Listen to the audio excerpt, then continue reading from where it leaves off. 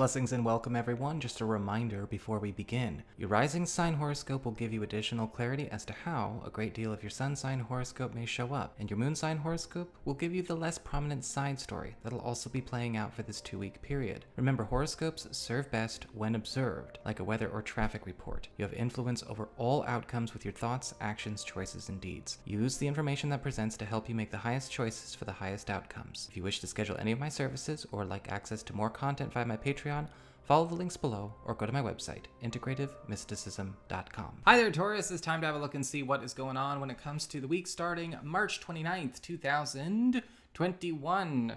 And yeah, I'm not appearing in this uh, video because I've got a lot of cards to look at and I really don't want to get distracted by having to look into the camera. So we're not going to do that. You can see me in a bunch of other videos. Uh, in fact, I actually, just for this week, moved the astrology portion to its own video because the full moon in Libra pretty involved. And you can follow the link below if you haven't already seen it to go check it out on my main channel page.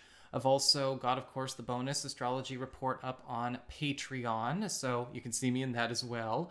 And a new monthly energy report for folks who are spiritual practitioners who are interested in looking and seeing what the elemental weather is up to.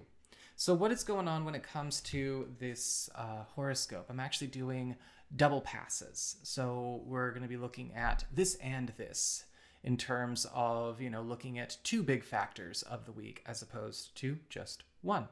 Well, for your spiritual themes of this week, you actually have the Emperor reversed and the Sun card reversed. And combined, these just spell a need for a, a bit of simplification and, and, return to innocence. But the Emperor card reversed, I'm actually seeing here, is paying attention to where we are going to need to be maybe undoing, dismantling, or rewriting a lot of rules, codes of conduct, uh, maybe a lot of pillars of stability that we have built around ourselves that are actually doing the opposite of their intention. Because with the Emperor card reversed, yes, we have to pay attention to where there are some tough calls that we made in the past that still didn't bring us to where we are. However, with the Sun card reversed, we are also seeing recovery, we're seeing healing, energetically positive reversals also occurring, especially because the Sun card reversed is showing where there is actually a lot of easier ways than ways we've been taught, ways we've been told, or maybe even, you know, easier ways than ways we've committed to when it comes to securing our own health, wealth, and happiness.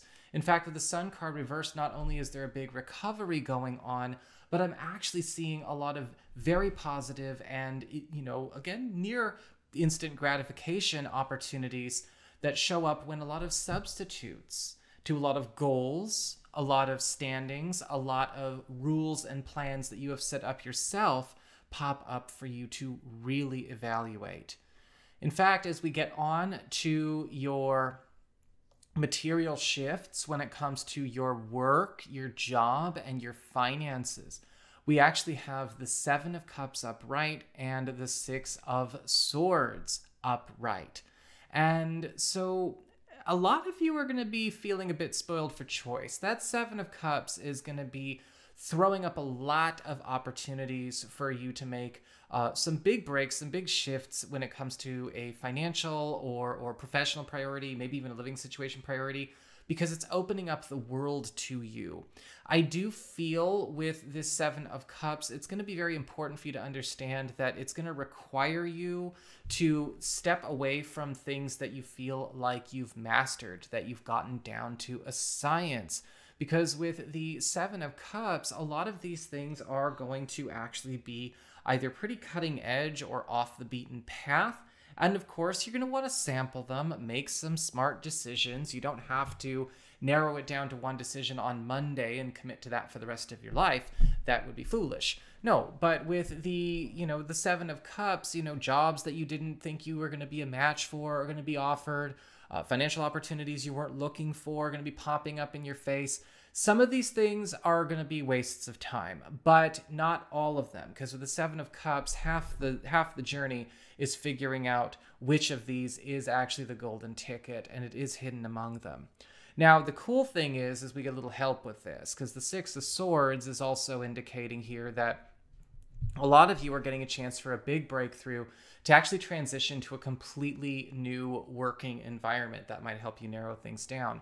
Uh, whether it's a new working environment, a new living environment, or maybe a, a completely different area of your field or a completely different area of your financial life that you've not been able to give a lot of focus to.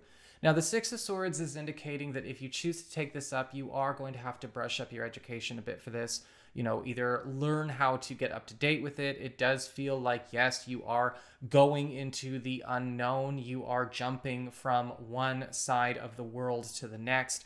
But what I like about the Six of Swords is that this is an onwards and upwards up opportunity. So a lot of you are going to be finding that, you know, getting away from the tried and true and familiar is absolutely working for you. Let these options of the Seven of Cups show up and then pick the ones that take you out of that familiar territory from the Six of Swords.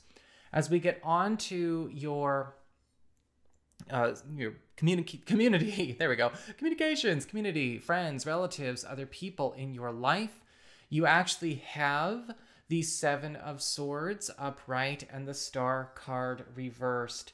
And with the Seven of Swords upright, a lot of you Taurus people are probably going to be finding that uh, a friend or a relative, um, or maybe even an entire group or or collective, is not who or what they they pose themselves to be. Because I'm looking at the Seven of Swords and I'm actually seeing, okay, we're actually catching somebody being fake. Now, whether it's they're being fake because they're choosing to deliberately be deceptive and misrepresent themselves, or we find out they're fake because they were kissing our ass and they were just trying to make a good impression, that all depends on what's going on with y'all. But with the Seven of Swords, we are going to need to pay attention to what this means about what can and cannot, or should or should not ever be maybe entrusted to this person or these folks uh, for sensitive care. Because with the Seven of Swords and the Emperor card reversed, I'm kind of like, okay, we may have made a call we should not have. Um, maybe we made that call based on criteria that don't serve, right? Maybe they just knew how to talk the talk. That's never good enough. It's okay. Don't give yourself a hard time because with the star card reversed, we have a substitution showing up instead. With the star card reversed, we actually have a breakthrough as it relates to uh, a friend or a relative or somebody that you do care about, uh, about something that is actually starting to bear fruit as far as a joint passion, a joint initiative, uh, maybe something that you guys were working on together, or whether it was as a as a full blown you know collaboration or just something that you've both been aspiring to have or achieve and share with each other. The star card reverse is indicating some headway is being made on their end of things. And this is probably going to be something that you want to make some room for, you know, so whatever um, space you clear by rearranging things around that Seven of Swords character, well, give it to the Star card reversed character. As we get on to your challenge, is this week, you've actually got the Queen of Wands upright and the Ace of Cups in reverse. So, number one, challenge with the Queen of Wands upright.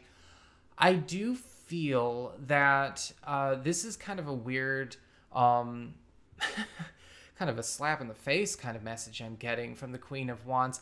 This week, Taurus, you're going to have to pay attention to where uh, we might have to own up to where we didn't follow good advice. And we've all gotten this at some point in time from the cards, you know. So again, don't feel, don't take it personally. You know, thousands of people are going to watch this.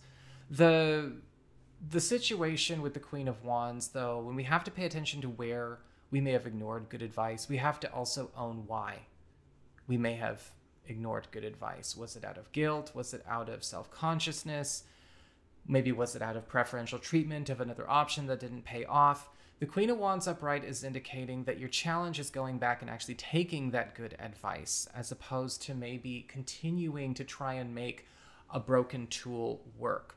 This is going to show up, however, in conjunction with that Ace of Cups reversed. So we have good news that comes with the opening of the heart. Because the challenge with the Ace of Cups reversed is paying attention to where, you know, people need to be encouraged to open up. You know, opening up lines of communication, opening up our feelings, open, you know, giving people the floor to share their true feelings. But one of the things I'm also seeing with the Ace of Cups reversed is also being clear with people about maybe circumstances that you're not happy with that they think you're happy with, whether it's your teams, your friends, your partners, your family. Because with the Ace of Cups reversed and that Sun card reversed, there are opportunities to reverse these conditions. We just got to make sure that we stop doing the grin and bear it thing, because that can be an act of self sabotage. And so, reversing that and taking good advice, we can do a lot of reversals this week. As we get on finally to your relationships with love, romance, and partnerships, you actually have the Nine of Pentacles upright and the Chariot upright. A lot of you are coming into a real good way here because with the Nine of Pentacles, I'm actually seeing a lot of you single Taurus people getting into an opportunity to start seeing or getting closer to somebody that is very much in that self made developed and successful way. This person knows who they are. And the, what is interesting about the Nine of Pentacles is I'm actually seeing somebody that would actually be really good because I don't think they normally date people. I think that they might actually be a, a bit of an independent success themselves. And this would be something that actually, you know, could create also a strong friendship, a strong rapport in other ways. For those of you who are currently coupled, your partner is absolutely stepping into a very good way themselves, uh, possibly coming upon some kind of treasure, bit of information, or a bit big find that really is also going to help do a lot of adjustments towards the positive as it relates to our lives outside of the relationship.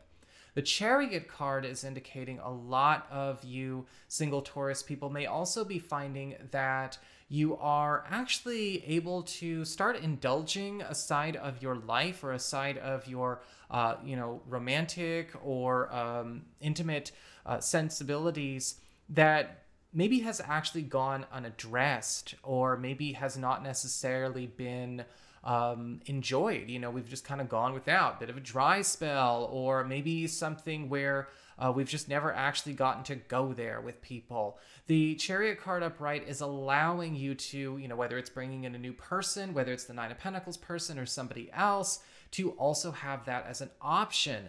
And for those of you who are currently coupled, the Chariot card is indicating your relationship with your partner is also taking on this extra dynamism because an element of our relationship that maybe was lagging behind in development is catching up very, very quickly and just becoming a lot more well rounded all around for all of us. So that is what I've got for you. I hope you enjoyed it. If you did, don't forget to like, share, and subscribe because y'all know I appreciate it. And should you ever want to get a session with me, you'll go ahead to my website. It's integrativemysticism.com. Blessed Ireland.